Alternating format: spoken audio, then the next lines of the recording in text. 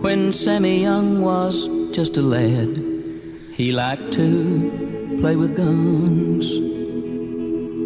To pretend he was a trooper was the way he had his fun.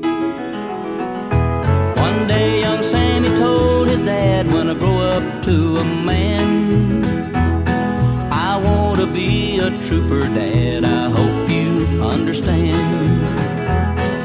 The day young Sammy came of age, his dad went down with him.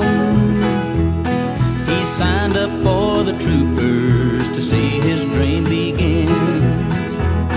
To see his dream begin.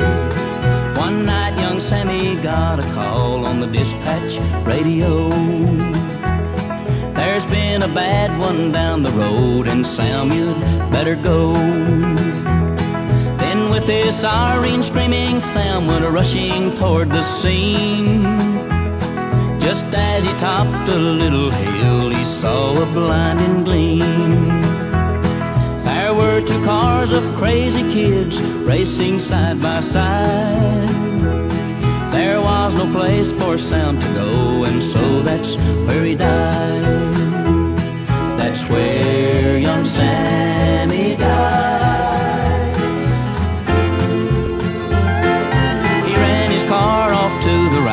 As the others raced on by.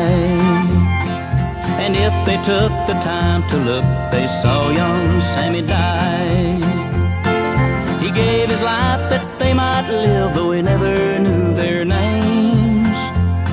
But someone has to keep the law, would you do the same? Young Sammy said his standards high and he never faltered once. A clean and useful life. State Trooper Sammy Young. State Trooper Sammy Young.